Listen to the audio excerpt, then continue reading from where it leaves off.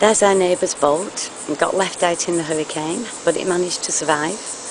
As you can see, the um, water is all being blown outwards by the wind, and you can see all the sandbanks. It's great. There are some children to the um, left of me playing in the sand, probably digging out all kinds of little things. And this guy here, I don't know who he is, probably another one of our neighbours walking his dog. But it's um, it's very pleasant this morning. It's humid, warm, probably about 80 something by the feel of it.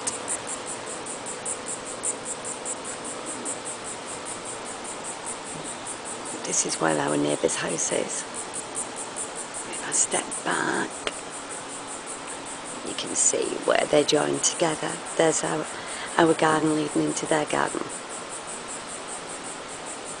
And back to the beach.